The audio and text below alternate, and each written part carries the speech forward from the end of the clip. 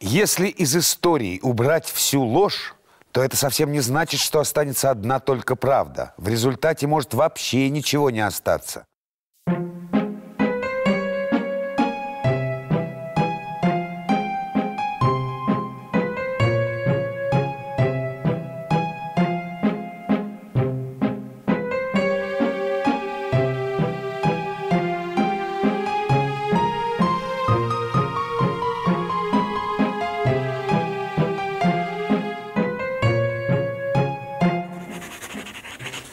На репетиции в Лондоне Вагнер был очень недоволен трубачами и закричал «Скажите этим ослам, что если они не будут играть прилично, то я выкину их вон!» Переводчик-музыкант внимательно выслушал Вагнера и перевел. «Джентльмены, маэстро вполне отдает себе отчет о тех затруднениях, которые вызывает у вас его музыка. Он просит вас сделать все, что в ваших силах, но ни в коем случае не волноваться».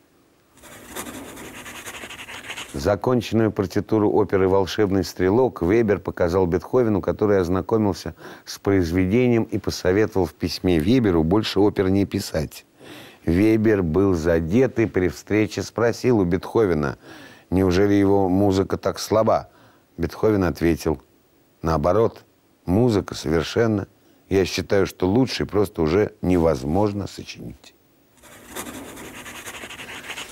Одна танцовщица с возрастом утратила грацию и решила заняться пением. Она выучила несколько легких арий и попросила Вагнера ее прослушать. Когда вокальный репертуар был исчерпан, композитор попросил ее станцевать.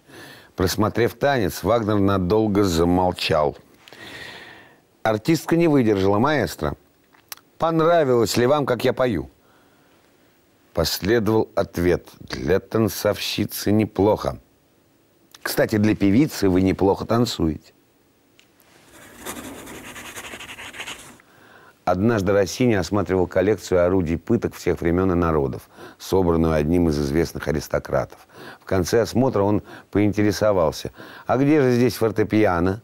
Когда композитору сказали, что музыкальных инструментов в коллекции нет, он заметил, значит, хозяина коллекции в детстве не учили музыке.